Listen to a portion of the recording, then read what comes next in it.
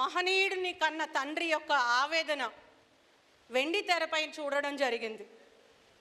నాకు నాకు నా కొడుకు గురించి తెలుసుకునేటప్పుడు నా కొడుకు ఎలా బ్రతికాడో మాత్రమే అందరూ గుర్తించాలి ఎలా మరణించాడో కాదు.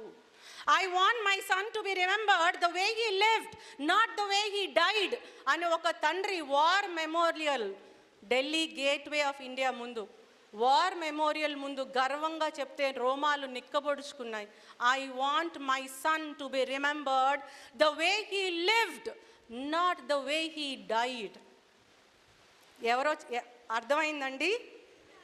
Thank you so much it is the proud father of major Sandeep Unnikrishnan who sacrificed his life in the year two thousand eight in Mumbai attack case అదే తండ్రి ఆయన మాట్లాడుతూ చాలా గర్వంగా నేను నా కొడుకుని నా భుజాల మీద మోస్తూ ప్రపంచాన్ని చూపించాలనుకున్నాను.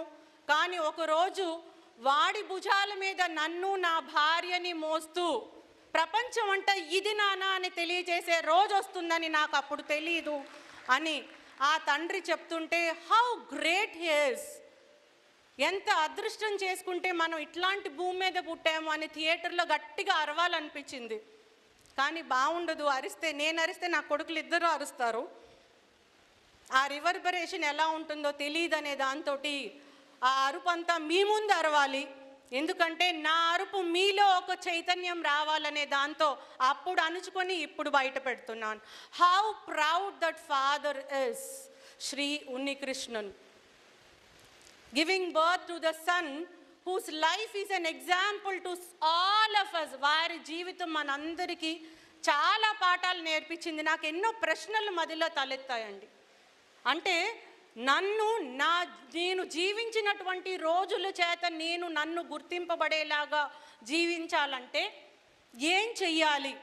మరి అట్లా మనం ఉన్నామా అనే ప్రశ్నలకి సమాధానం చాలా చాలా కష్టంగా అనిపించింది ఆ నైట్ అంతా రెండు మూడు రోజులు ఆలోచించాను దాని గురించి. ఎన్నో ప్రశ్నలు మదిలో మెలిగాయి.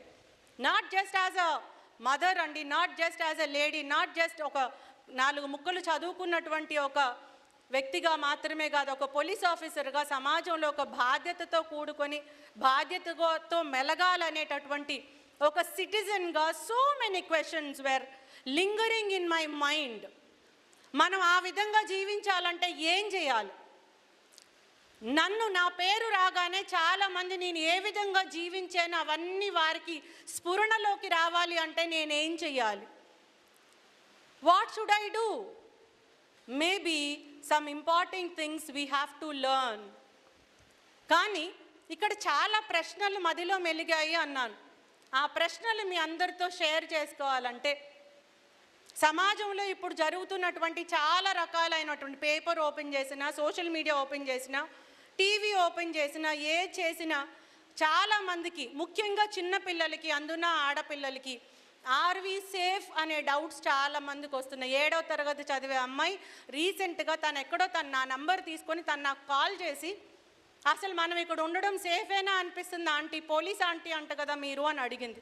What should I answer her yes అని చెప్పనా నో అని చెప్పనా నాకు కూడా అర్థం కాలేదు. అన్ని కన్ఫ్యూజన్స్ చిన్నపిల్లలకే వస్తున్నాయంటే ఎక్కడో లోపం ఉంది. ఏదో మనకి ఒక అశుభ గడియలు మోగుతున్నాయి అనేటటువంటి నెగటివ్ థాట్స్ వస్తున్నాయి. Something is going on undercurrent which is unnoticed I don't want give a pessimistic approach అండి నెగటివ్ అప్రోచ్ ఇవ్వాలనేది నా ఉద్దేశం కాదు కానీ కొన్ని సర్కమ్స్టాన్సెస్ మీతో షేర్ చేసుకుంటే మీరు అందరు అనుకోవచ్చు మేడం అవి ఓన్లీ ఎక్సెప్షన్స్ కదా అని. Yes today's exceptions if they are neglected tomorrow they become